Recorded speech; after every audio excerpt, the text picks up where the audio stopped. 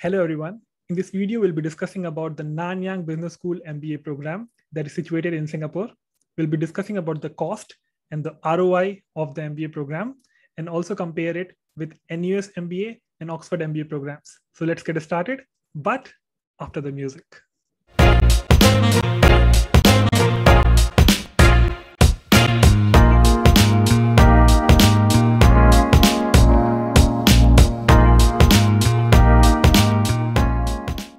Welcome back to the analysis. Uh, let us start the Nanyang Business School analysis by looking at the picture of the B school.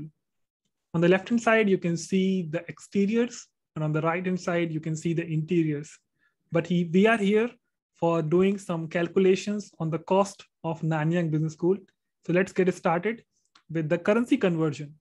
So as you can see, one Singapore dollar is equal to 55 INR and one Singapore dollar is also equal to 0.75 USD. Also, one USD is equal to 75 INR. All these three figures will be very helpful in our future slides. Now let us see the application fees, and I will also give you a bit uh, of the info about the dates and the application requirements. So you need a bachelor degree. Also, you need two years of work experience, good GMAT GRE score, and TOEFL and IELTS score if your education was not done in English. But uh, I expect that if you're watching this video, you must have done your education in English. So you may not need to take the TOEFL and the IELTS. The application deadlines are on your screen. Uh, the first round deadlines are very near. It is on the 1st of November. And for the part-time MBA, they have separate deadlines. Uh, the first round deadlines are on the 4th of December. Moving ahead, you can see the course duration. Full-time MBA is 12 months MBA program and part-time is 18 months. So here you can see there is a lot of difference in duration. In NUS MBA, uh, where I'm studying, the part-time MBA is 24 months and the full-time MBA is 17 months. But here it is much more fast-paced and much more compact MBA program. So moving ahead, let's see the tuition fees. For the full-time MBA, they are charging $66,340 and for the part-time MBA, they are charging almost $70,000. We have to note that this fees is including GST. For the NUS MBA program, the fees is excluding GST.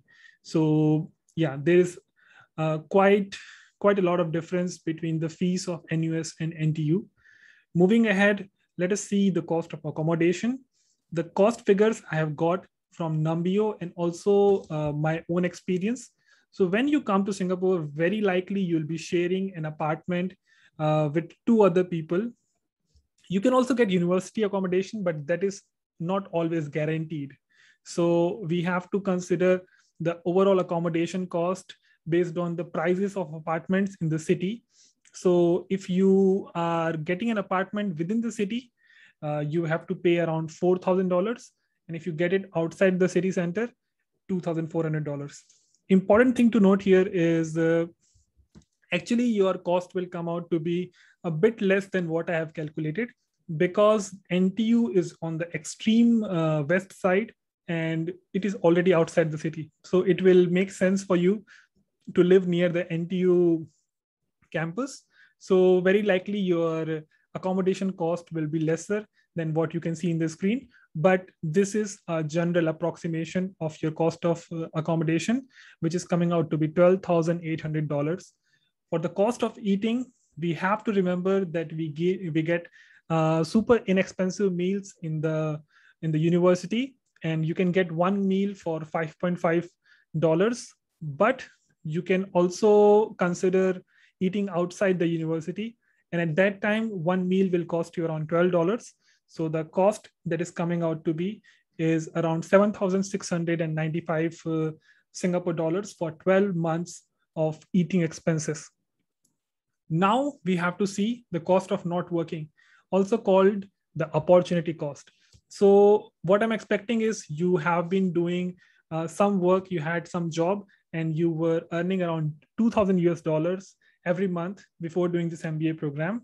And that is why your uh, monthly salary was $2,000, which you will be losing if you do the MBA program. So the loss of salary will be uh, around 12 into 2000 that is uh, 24000 us dollars so this is the amount of money that you will not be earning because you will be coming to singapore to do the mba program now let us see the final expenses so on your screen you can see the visible cost and the invisible cost. And the final calculation brings us to the final cost of the mba program. That is around 89200 uh, us dollars or around 67 lakh rupees. So we should say that this is the expense, but uh, the cost calculation is not just about expenses because you will be also having some earnings while you are doing your MBA program. So let us see what is your earning with the internship income. So for the 12 months MBA program, you will be doing around three months of internship and for which you will be getting around 2000 Singapore dollars as your average salary. So within three months, you will be getting around 6,000 Singapore dollars salary. Now, this is your earnings during your MBA program. And the final cost will be the difference between the expenses and the incomes that you have.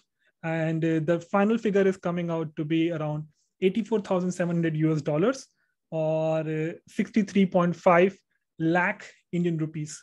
So 63.5 lakh is a very big investment. And that is why we have to calculate how much will be the return of doing an uh, NTU MBA. So let us see uh, what is the salary data based on the Economist Education Survey.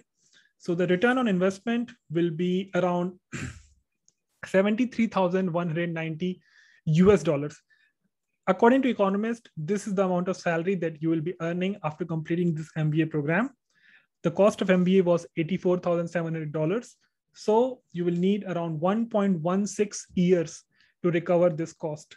This brings us to our final section of the video, which is the list of most expensive MBAs. Here you can see Oxford, NUS, and NTU that have been ranked one, two, and three in the most expensive MBA ranking, but you also have the ROI ranking where NTU has ranked at number two uh, and uh, NUS has, has been ranked at number three. So this ranking is purely based on the data that we have got from the surveys and also from Numbeo and other websites. The real figures may always be different from what you can see in my video, but this is very important to give you a wholesome idea about the cost of MBA, please subscribe to the channel and share this video with your friends so that uh, I can spread this message across many other people who are thinking of doing an MBA and are concerned about the budget. Please subscribe to the channel, share the video, and until next time, peace.